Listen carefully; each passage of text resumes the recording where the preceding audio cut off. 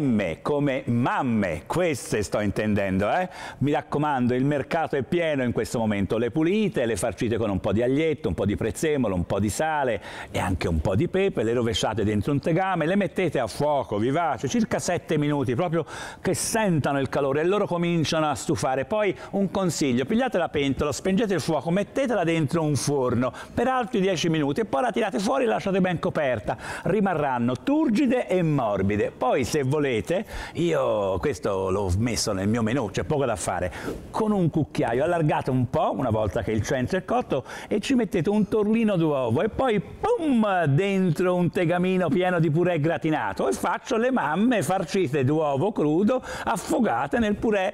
Credetemi, ci vuole quel mezzo filone di pane da mangiare insieme, ma alle volte ci si può concedere. In fondo ho mangiato verdure.